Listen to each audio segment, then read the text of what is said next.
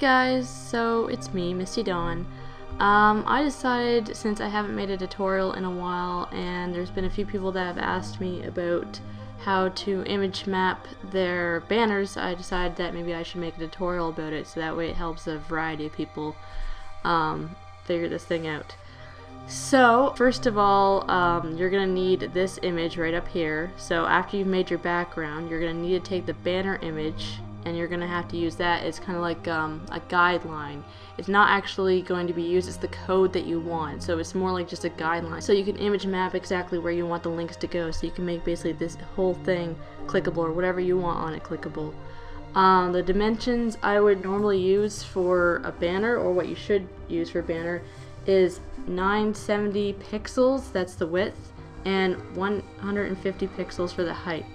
So what you would do for that is like for example you're making a new banner, go into new, and you would just put in, well I just put it in because I just did it recently, but you would just put in 970 here, 150 there, click OK, show you, there you go.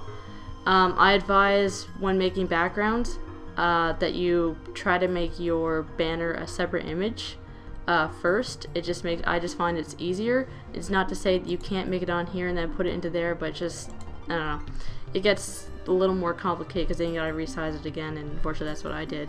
So yeah, because you're gonna need a separate image in order to link your banner. Otherwise, it's just gonna be a pretty picture and you can't link anything on it. Alright, so I'm just to get rid of that. Uh, basically, once you have your image, which I do, I have it on my desktop, uh, you're going to want to go to not my not my channel. But you're gonna want to go to this site right here. It's imagemaps.com um, I will provide a link in the description below for this site. And what you basically do is right here you got all this blurb. Um, you're gonna want to browse from your PC if the image is on your PC or from, from if it's from a URL I've never done it from a URL before so if you want to do it from a URL then go ahead. Feel free. So first of all, hit browse. Um, um, I've saved mine on my desktop. Wherever you saved it, basically. Remember where you saved it. Um, I've got tons of stuff on my desktop, as you can see. Uh, there it is. Okay, so open it, and then you're going to say start mapping your image. Click that. I'm going to wait for this thing to load. My internet won't be so slow for me today. Okay, File upload. Congratulations, your file was, su was successful. Then you gotta wait. This is just gonna show you a little picture down here what you uploaded. So this is what I uploaded.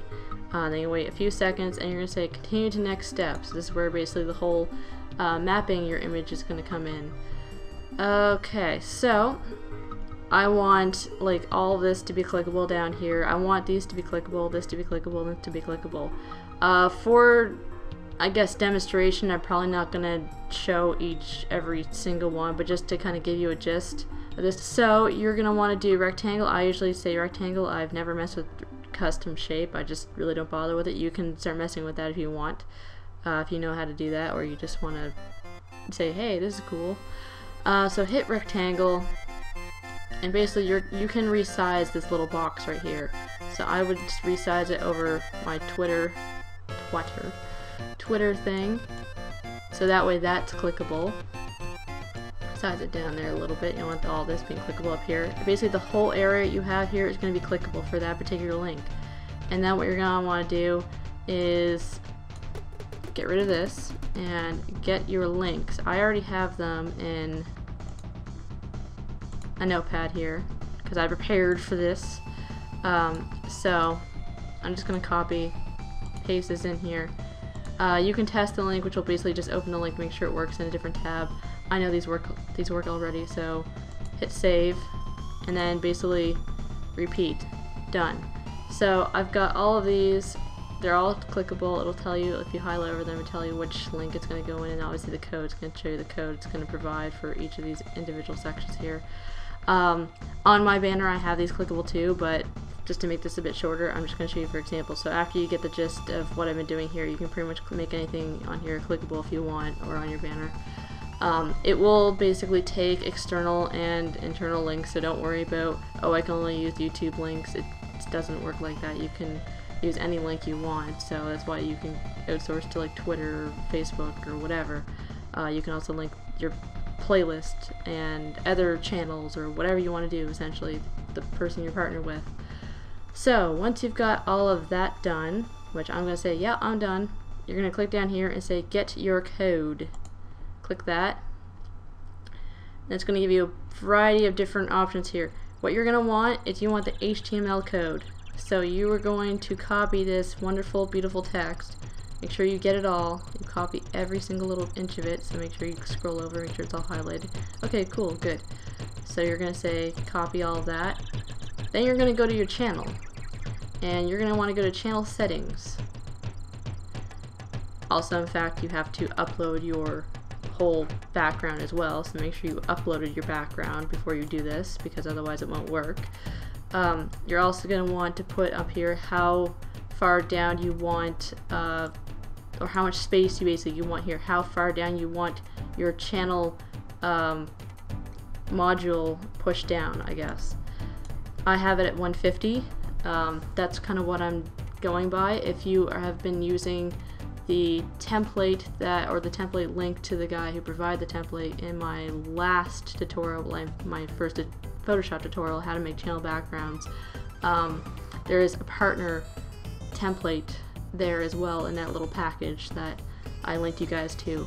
So if you're using that one, then use 150 pixels. If you're using your custom one, uh, you're gonna have to see how what the dimensions are. So if the height of your banner is, I don't know, 120 pixels, and you put it 120 pixels because it's gonna show the height, like how much it's gonna show.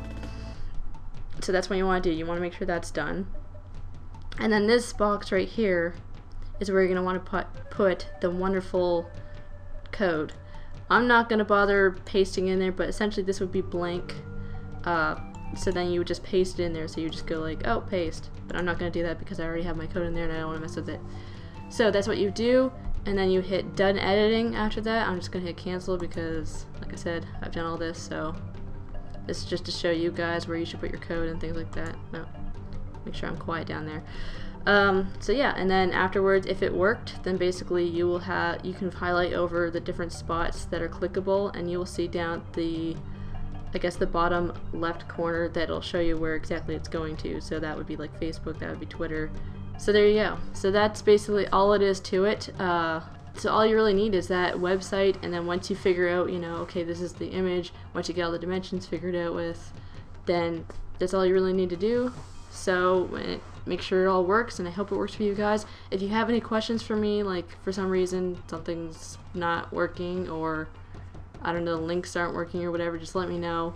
Uh, I'll try to help you the best I can.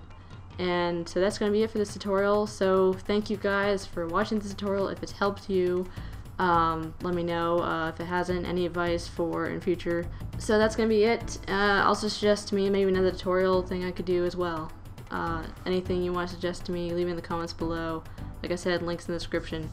So, thanks for watching this tutorial, guys. Till next one, take care.